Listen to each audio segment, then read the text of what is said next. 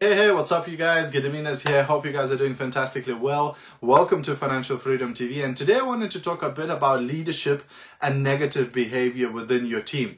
So if you're watching a replay of this video, please do me a massive favor and stick hashtag replay into the comments. If you're brand new, if you're watching one of my videos for the first time, please do say new in the comments as well. Hey, Charlie, thanks for jumping on. Hope you're well. Uh, and if you get value from this video, feel free to share it. Maybe somebody else will get some value too. So the title of this video is is why you should not put up with negative behavior if you're a leader.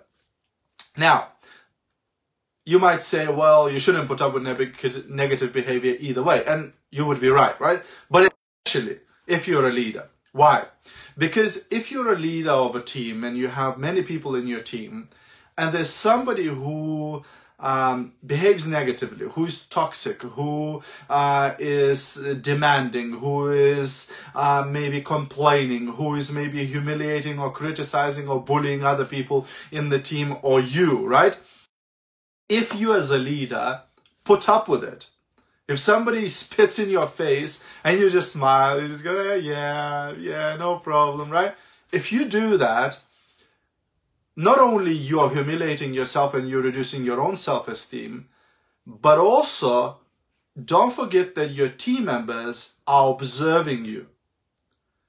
And if they see that you as a leader put up with negative behavior, you allow negative behavior, then they will think, oh, so if I become a leader, I will also be dealing with this crap as well.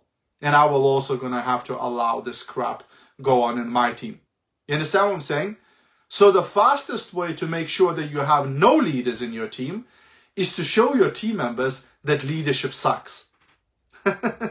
if you put up with negative behavior, if you allow people to humiliate you, if you allow people to behave in toxic ways, then you're showing your team members that that's what leadership is all about. And guess how many of your team members will want to become a leader and deal with that crap on top of the crap they're already dealing?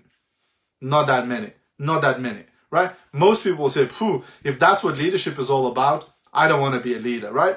So that's why, like Tony Robbins says, kill a monster while it's a baby. If you have somebody in your team who is a toxic person, who is causing uh, aggravation, who is negative to you or other people, who is criticizing, who is complaining, and so on, you have to cut them loose as soon as possible. Now, you might still communicate with them one on one, but you might have to remove them from your team groups. You might have to um, uh, forbid them from attending any team events, etc. If it comes to that, right?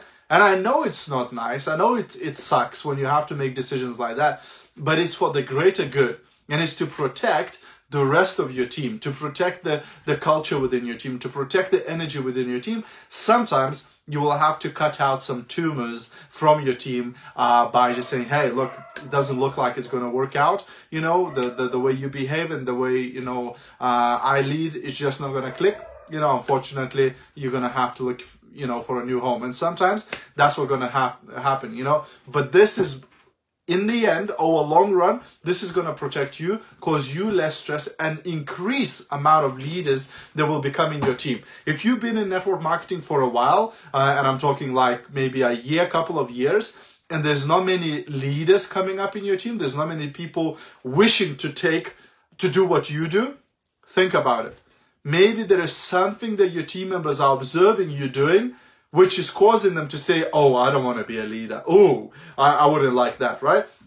So sometimes we actually stop our team members from becoming leaders by doing certain things that scare other people from becoming leaders too. So have a think about that too. Okay. Thanks for watching. Hope you got value. If you did, feel free to share it. Have a great rest of your day and I'll see you at the top. Bye for now.